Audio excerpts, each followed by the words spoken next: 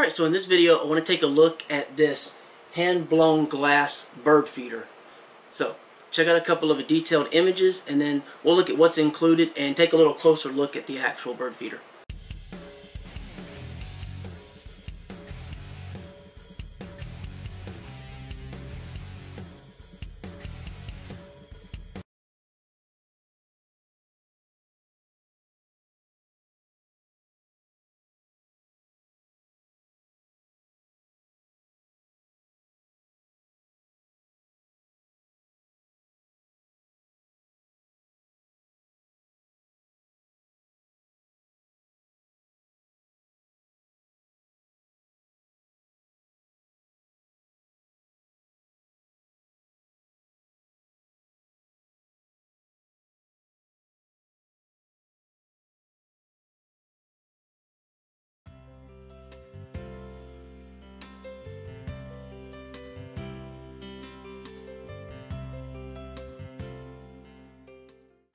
Alright, so as stated, we're taking a look at this bird feeder. It's built for or designed for hummingbirds.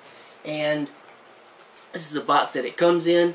It does come with uh, styrofoam encapsulating the unit. And I've got two of those that I've ordered. And both of them arrived without damage. So they packaged it fairly well, I would say.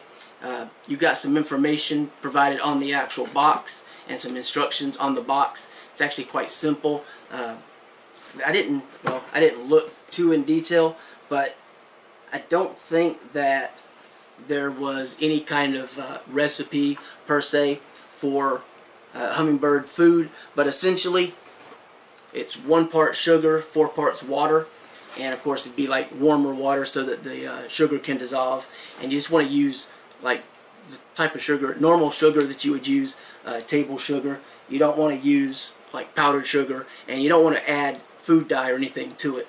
So we've got the unit over here, but before we take a little closer look at that first, let me show you what's included with it. So you have this sort of rope or string that has these little uh, like flowers, leaves. So that's actually kind of cool. So that's included with it. I suppose depending on how you want to hang it up, of course.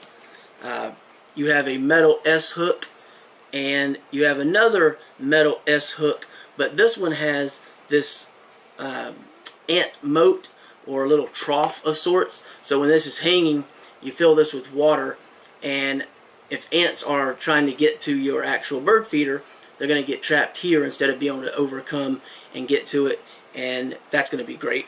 Of course, you don't have to worry about that as much. Then you have this little portion here which is basically just a little clean brush and this is actually designed so that you can clean each of the individual holes where the hummingbird will actually eat, uh, eat from. So that fits right in like that. And you can clean that out periodically. Uh, ideally, you would clean these out uh, every few days uh, at the very least, just so you don't have to worry about mold or things like that. So as you can see, and this is actually quite heavy duty. Um, it's not a super thin glass, which I I thought it would be a much thinner glass than it is. So it's actually, you know, very interesting. And because they're hand-blown glass, each one should have a minor uh, variation, so it's going to be unique. You're going to have one of a kind, essentially, because no two are going to be 100% identical, even if they're extremely similar. Uh, it's, you know, because of the hand-blown aspect. Uh, it holds, I believe, 32 ounces, and what I really like about this is, like, again, the solid glass build, the inclusion of the uh, ant moat and the cleaning brush are really nice. Uh, just maintenance and not having to worry about it as much. And then what I also like is this portion. It's not plastic. Like a lot of them are plastic. So the little uh, flowers are uh, metal. You have the top portion of the containment for the actual uh, fluid when you turn it you know back up and it's hanging and then you have the perching uh, resting area for the bird and that's made of metal and on the bottom of course you do have uh, plastic here that's the only plastic so basically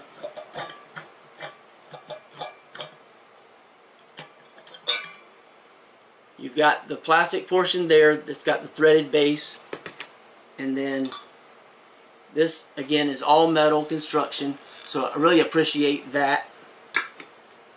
And then you have the glass itself. Again, you can see how thick that is. And it's of course threaded as well. So all you have to do is stick your water and sugar mixture in and let it hang up. Uh, again, I've got two of these, but I have this one in here so I can show you. Unfortunately, I can't seem to capture any hummingbirds at the moment, so I can't include those with the video, unfortunately. But, you know, again, it's very simple.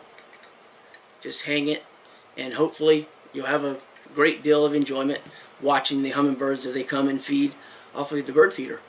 But that's it. I just you know wanted to go over the construction materials, what's included, and oh, there is a nice rubber ring right there, so it's really soft and it fits over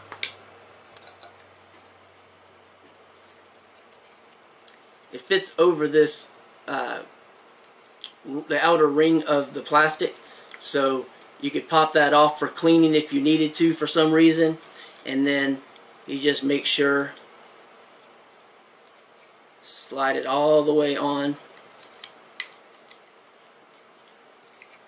all the way around till it's properly seated and that's going to give you a really good seal and then once you filled it just tighten that back up and you're ready to go and you can hang it. I would definitely suggest using the ant moat, but that's pretty much all there is to it. Uh, I just wanted to give you an overview of this one, the other one. Uh, my parents actually have it at their home, and they're happy with it as much as I am with mine. Uh, but yeah, little ant moat, that's a pretty cool addition. Uh, a lot of the ones that I've seen that my parents had in the past did not include that. So that's pretty much it. Very solid glass and very solid metal construction means it should last a long time and that's what I really appreciate about this. And it's actually I think very reasonably priced at least at the time of this video. Okay? So if you want to find out more about this anything I haven't talked about that you know is relevant to you you can look at the link below the video and reference that. Otherwise thanks for watching